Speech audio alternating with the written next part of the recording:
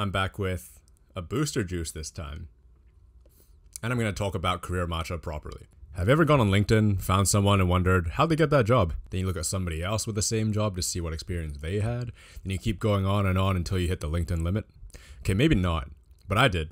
So I built Career Matcha. It's a database of career paths that's meant to give you inspiration and just ideas for what to do. It's not too complex, but another fun Next.js project, so I'm going to walk through it.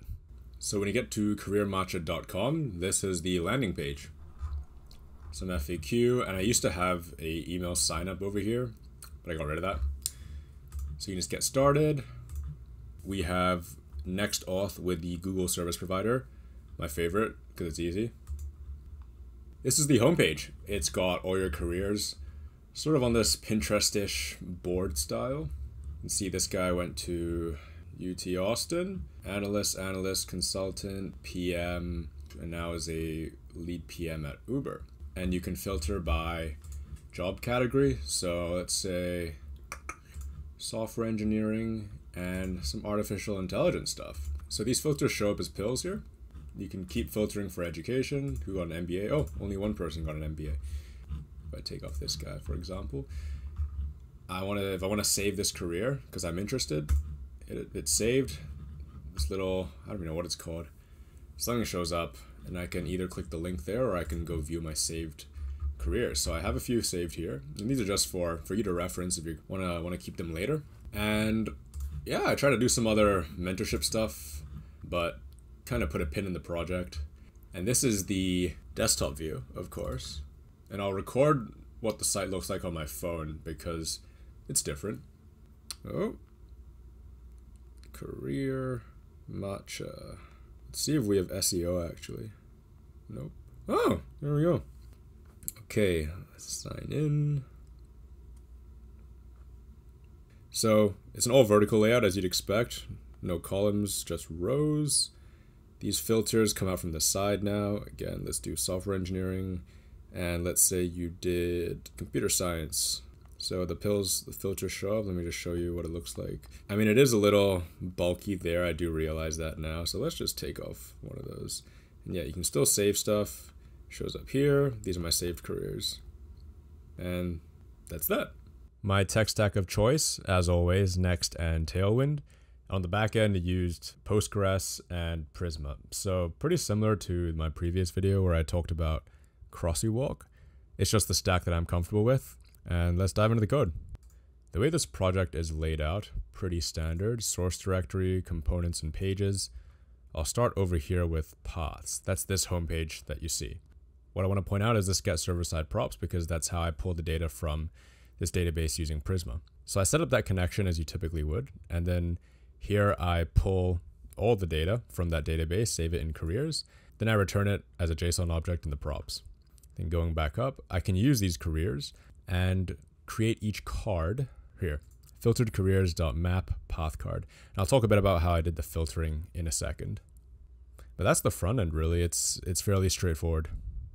Moving on to the database, I do have a Postgres database hosted on Heroku, and I'm using Prisma as my ORM. So this is the schema file that sets everything up. I have two models, one for careers. This table stores all the career information, the ones that you see reflected in these cards. So each card pulls data from one row in that database.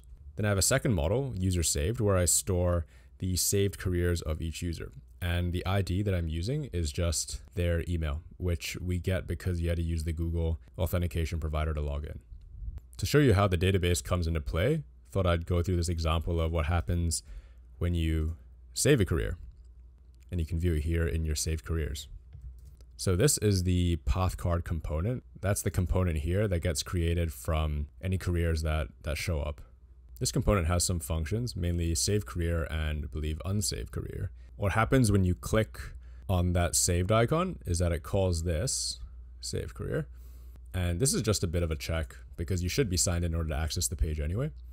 What this does uses Axios to call API save career it passes in the data of your user ID and also the career ID, the specific ID that we need to add to your saved careers, which is just an array. And this API route reads in the data you want that's sent in the body, and it just performs the requisite Prisma command. So it first finds your user and then saves it. Right. And this is an if else. If your user exists in the user save table, then we'll just push this career, career ID to that to your array. If you haven't saved anything previously, it'll create your user in that table and then it'll just create a, a new array with that career ID as the only element in that array. So that's an example of how those API routes work. And Prisma makes this very, very simple. What I do want to spend some time talking about actually is this filtering that I did here. So you can see, let's just do startups and you got an MBA. Oh, it's only two. Okay, never mind. It's not that many. So these filters are exclusive. I think that's the term. As in, you'll only find the intersection between multiple filters. But when all these filters disappear, then you get everything. So pretty typical filtering.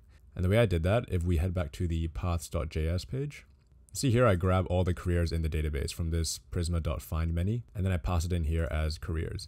But then I actually have this constant here, filtered careers, which calls this search filter function. And what that does, this function over here. And what that does is it takes this careers object, and that's all of the careers in the database, and it returns an object of filtered careers.